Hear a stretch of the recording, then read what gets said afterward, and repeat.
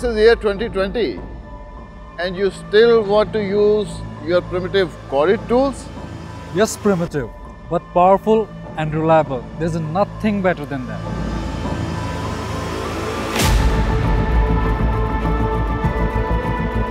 Cordless, these can't match the power of corded tools. Their battery life is sad, and these tools do not last as long. We are using these tools since years. We can't let you take these from us. Sir, do you really feel cordless battery tools can replace the power of corded tools? We can bet our mobile phones on that.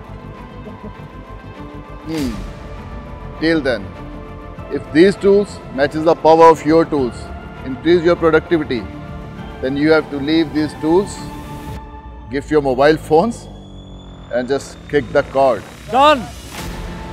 I have called Hilti just to show you this.